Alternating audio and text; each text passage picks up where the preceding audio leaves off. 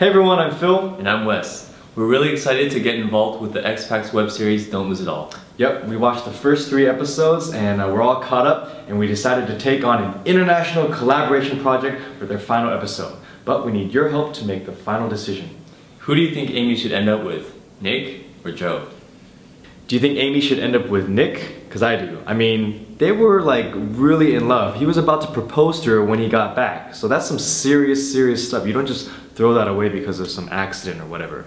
Plus, I don't really think Joe's a good guy. I mean, what kind of a friend just sweeps in there right when one of them disappears and is like, hey, why don't we get together, you know? And it's not like Nick was being a bad boyfriend and that's why he disappeared. He put his life on the line for a complete stranger. That's a that's very noble, and I think that's why Amy should end up with Nick.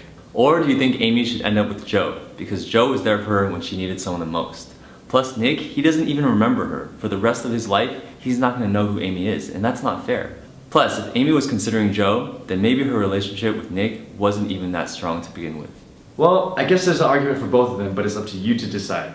Be sure to vote for either Nick or Joe at the link below, and check back for the final episode coming soon. Thanks. See ya. Nick or Joe, Nick or Joe, Nick or Joe, Nick or Joe, Nick or Joe, Nick or Joe, Nick or Joe, Nick or Joe.